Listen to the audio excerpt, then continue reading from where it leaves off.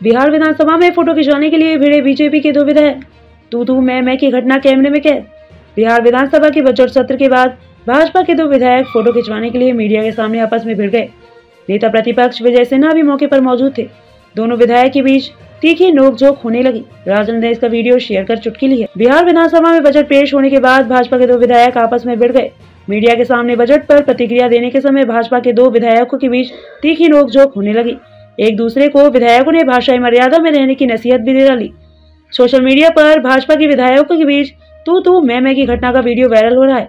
राजद ने भी video share कर चुटकी ली है।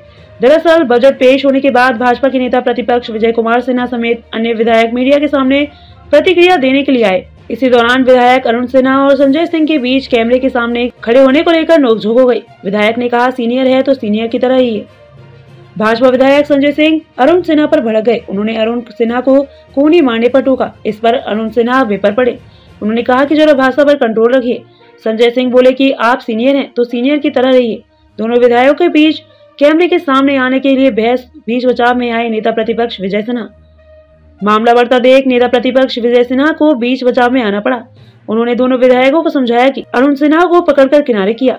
इस दौरान पूरी घटना कैमरे में कैद हो गई। माइक भी ऑन था, इसलिए नोक झोंक की आवाज़ भी साफ़ सुनाई दे रही थी।